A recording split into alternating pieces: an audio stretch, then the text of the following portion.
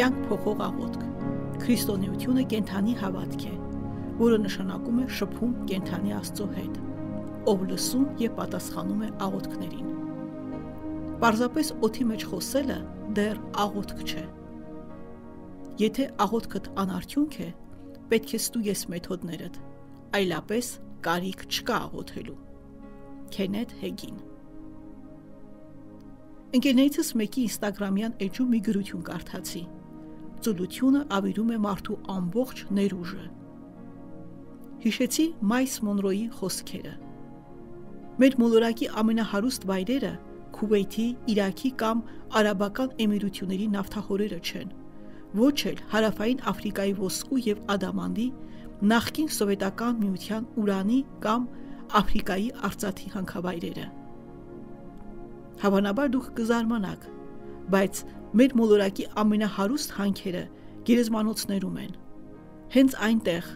հողի տակ են թաղված ճիրականացված երազանքները, չերկված երգերը, չգրված գրքերը,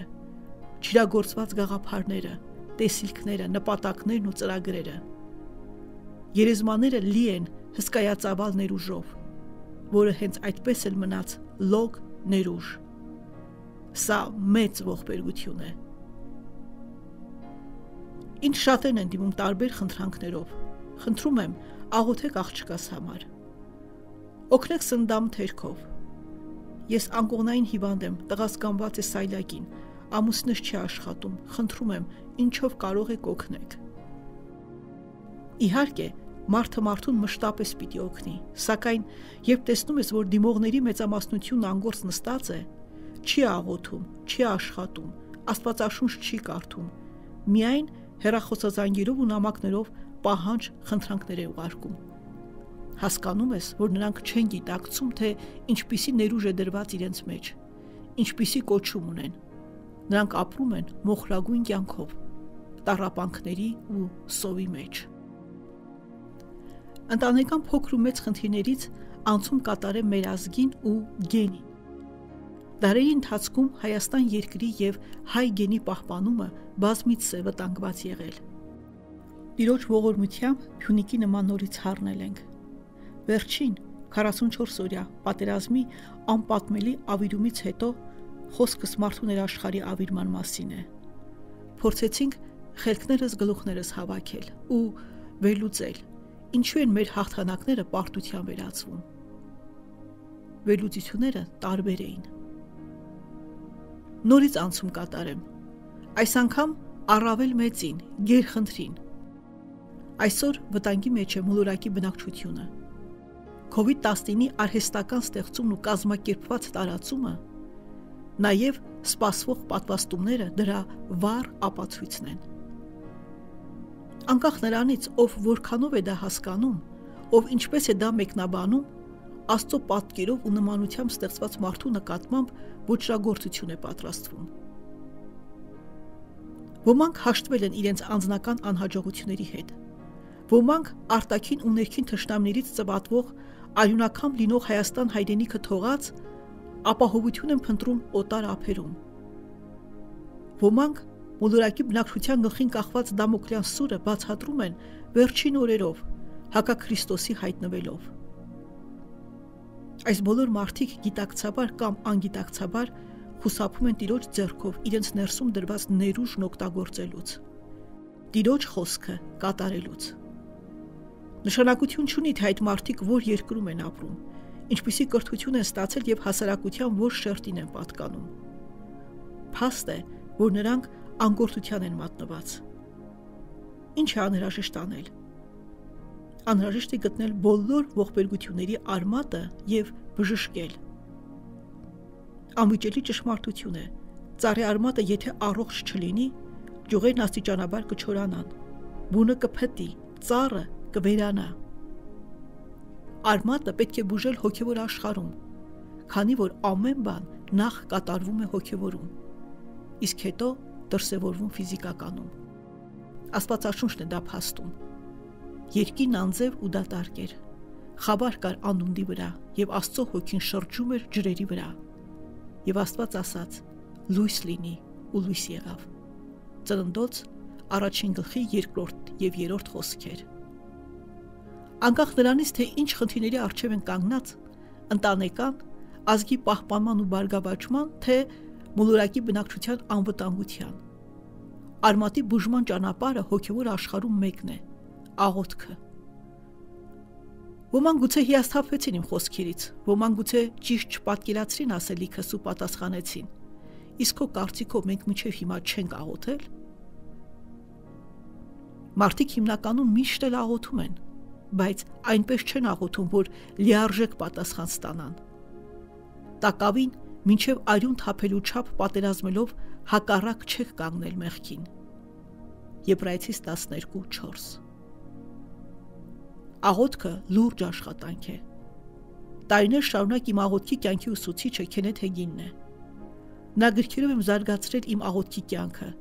Հոգևոր աշխարհում արված աշխատանքի շնորհիվ ֆիզիկական աշխարհում բազում հրաշքներ եմ տեսել։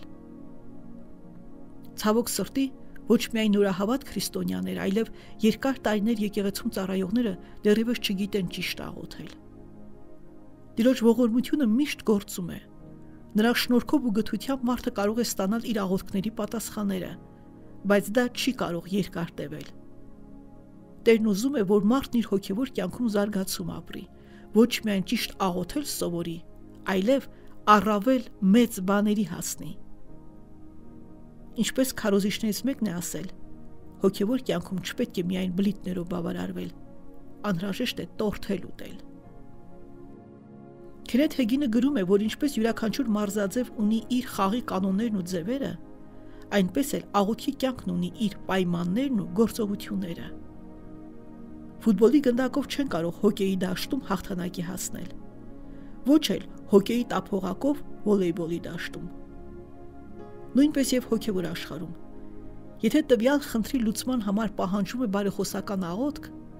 ապա որքան էլ քրիստոնյան հավատացյալի իշխանությունն օգտագործելով պատերազմական աղոթքներ անի, արդյունք չի ստանա։ Որևէ խնդրի լուծման համար Տերը եթե ցանկանում է երկրպագության աղոթք, ապա մարդը կամ աղոթքախումբը որքան էլ աղոթի ուր սրտի փափագը հրճակի, միևնույն է, պատասխան չի ստանա։ Թեկուզ այդ աղոթներն օրեր շարունակ ուղեկցվեն ծոմապահությամբ։ Դի է պատրաստում պատերազմի օրվա համար, բայց փրկությունը Տիրոջից է։ Առակաց 21:31 Տերն է որոշում աղոթքի պատասխանը ստանալու ճանապարհը։ Տերն է սիրտ ու երիկամուն քննողը ու նա գիտի, թե տվյալ պահին հրաշք ստանալու ճանապարհը որն է լինելու։ Նա չի ցանկանում միայն հրաշք կատարել մարդու կամ ազգի կյանքում։ Նա ցանկանում է, որ այդ մարդու կամ ազգի կյանքը փոխվի։ Այդ փոփոխության ճանապարհն ինքը գիտի։ Ասորեստանի թակավորի զորագլուխ Նեմանը որոտությունից երբեք չէր բժշկվի, եթե չհնազանդվեր Մարգարեի խոսքին եւ նա վայր իջավ ու 7 անգամ թաղվեց Հորդանանի մեջ Աստծո մարդու խոսքի համեմատ։ Եվ նրա մարմինը յետ դարավ իբրև մի փոքր տղայի մարմին, ու նա մաքրվեց։ 4 թակավորած 5:14 Աղոթողը ոչ միայն տիրոջ առաջնորդությունը պիտի ստանա, թե ինչպիսի աղոթ քանի երկրպագության, պատերազմի, համաձայնության եւ այլն, այլև տիրոջ խոսքը, թե իր հրաշքը որ ճանապարհով է գալու։ Հիսուսը մինչ ժողովրդին եւ աշակերտներին ուսուցանելը, քարոզելն ու հրաշքներ անելը առանձին ժամանակ իր անցկացնում հոր հետ։ Նա ամեն օր էր առանձնանում եւ հայր Աստված հայտնում էր նրան իր անելիքը։ Ինչ որ ես խոսում եմ, ինչպես հայրն ասաց ինձ, այնպես եմ խոսում։ Հովանես 12:50 Ազնական օրինակով ավելի հստակ դարձնեմ խոսքս։ Տարիներ շարունակ պատանեկությունից սկսած գլխացավեր ունեի։ Սկզբում այդ ցավերը հազվադեպ էին։ Աստիճանաբար հաճախակի դարձան։ Ու մի օր նկատեցի, որ սոսկալից գլխացավերին դիմանալու համար արդեն ամեն օր 3 տեսակի դեղեր եմ ընդունում, որից հետո 2 ժամ քնում եմ, որպեսզի կարողանամ աշխատել ու առօրյա գործերով զբաղվել։ Անկեղծ ասած, բուժման համար չէի աղոթում Մտածում էի, որ տիրոջն եմ ծառայում եւ նա տեսնում է տարապանքներս ու մի օր կբուժի։ Տեսնելով, որ տիրոջից սպասված բժշկությունս չեմ ստանում, բժշկական զննում անցա։ Այնուհետև մեկնեցի Բելգիա կրկնակի ստուգվելու, հստակ ախտորոշում եւ բուժում ստանալու համար։ Վիրուսերի լավագույն բժիշկներն ասացին, որ իմ գլխացավի պատճառները տարբեր են եւ մանրամասը ներկայացրին դրանք։ Յուրաքանչյուր անգամ գլխից տարբեր հատվածներում էի ցավեր ունենում։ Բժիշկներն ասացին, որ լիարժեք բուժվելու հնարավորություն չկա։ Ցավերը մեղմացելու համար պետք է դեղեր ընդունեմ։ Ինչպես պարզվեց, այդ դեղերը բացասաբար էին ազդելու ստամոքսիս վրա, այսինքն հետագայում ստամոքսի բուժման պետք է զբաղվեի։ Առաջարկեցին նաև աշխատանքից բնույթը փոխել։ Նրանք ինձ չէին հարցրել ով եմ, ինչով եմ զբաղվում, բայց ելնելով հետազոտությունների արդյունքից այդ եզրակացությանն էին հանգել։ Վերադարձա Երևան դեղերով լի ճամպրուկով։ Հետևելով բժիշկների խորհրդին ամեն օր ընդունում էի դրանք սոսկալի ցավերից խուսափելու համար։ Աշխատանքից բնույթը փոխելու մասին չէի մտածում, քանի որ չէի կարող հրաժարվել տիրոջից ինձ տրված կոչումից։ Կոչմանս բնույթից ելնելով համարյա ամեն օր սթրեսային վիճակում էի,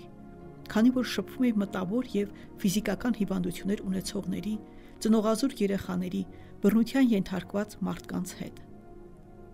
Կարճ ժամանակ անց թափվեցի։ Որոշեցի, որ այլևս դեղեր չեմ ընդունելու եւ տիրոջն եմ ապավինելու Գիշերվա կեսին գլխացավը սկսվեց։ Աստիճանաբար ցավն ավելի սոսկալի դարձավ։ Սկսեցի աղոթել ու հրճակել, որ Հիսուս փրկչի խաչի վրա թափված այրյան շնորհիվ բժշկված եմ։ Հիսուս փրկչի անունով հրամայում էի սատանային, որ բաց թողնի մարմինս աղոթում էին նաև Սուրբ Հոգու լեզուներով։ Ցավը գնալով սաստկանում էր։ Աղոթքս չէի դադարեցնում։ Տարբեր մտքեր էին գալիս, Աստվածաշնչից հետևյալ տողերն էի հիշում. թեև թզենին չծաղկի եւ որդի վրա բերք չլինի, ես տիրոջով պիտի ցնծամ։ Իմ փրկության Աստծով պիտի ուրախանամ։ Ամբակում 3 17-ից 18 խոսքեր։ Մի պահ երկ մտեցի, մտածելով, որ Տերը չի ցանկանում բժշկել, այլ ուզում է տեսնել, թե այդ ցավերի մեջ որքան հավատարիմ կլինեմ իրեն։ Բայց հետո հասկացա, որ դա սատանայի որոգայթն է։ Նա փորձում է Աստվածաշնչյան խոսքով խაფել ինձ ու հեռացնել Տիրոջ կամքից։ Շարունակեցի պատերազմական աղոթքս հրճակելով Եսայի մարգարեության 53-րդ գլխի հայտնի տողերը։ Նա անարգված ու մարդկանց երեսից ընկած, հարվածների տեր ու ցավի տեղյակ եղավ։ Նա մեր ցավերը վերցրեց եւ մեր վշտերը բեռնեց իր վրա։ Նրա վերքերով մենք բժշկվեցինք։ Հավատքով լի դավանում էի։ Հիսուս փրկչի խաչի զորությամբ ես բժշկված եմ։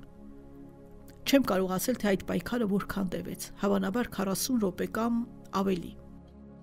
Հանկարծ սոսկալի ցավը մեկ ակնթարթում անհետացավ ու աստվածային խաղաղությունը ապարուրեց ինձ։ Ես լիակատար բժշկություն ստացա։ Տարիներ են անցել այդ օրից։ Ես այլևս չեմ տարապում, քանի որ Սուրբ Հոգու առաջնորդությամբ հասկացա, թե Աստվածաշնչի որ խոսքներ ինձ պատկանում եւ ինչպիսի աղոթք պետք է անեի այս նյութը շարունակելի է։ Ուղղակի հետագա նյութերում կխոսեմ աղոթքի տեսակների ու դրանց առանձնահատկությունների մասին, հուսալով, որ դրանց կիրառմամբ կբուժվեն նաև վերը նշված խնդիրների արմատները։